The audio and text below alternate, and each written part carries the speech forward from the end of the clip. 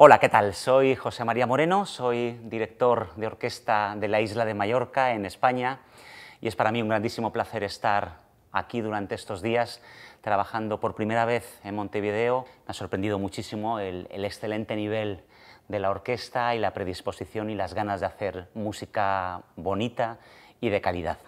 Esta semana presentamos un programa espectacular con una música absolutamente maravillosa.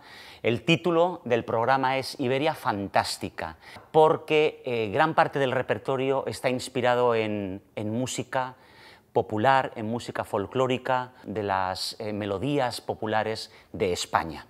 Básicamente la inmensa mayoría del repertorio es música del impresionismo, que es un género musical de finales del siglo XIX, principios del XX, que se origina en Francia, y uno de los grandes compositores, de los máximos exponentes de este movimiento musical fue Claude Debussy.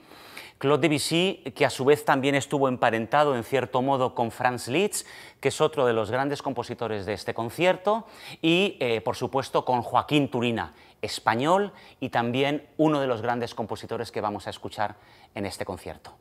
Así que les esperamos este sábado en el Auditorio Nacional del Sodre, un concierto imprescindible, absolutamente maravilloso, les esperamos.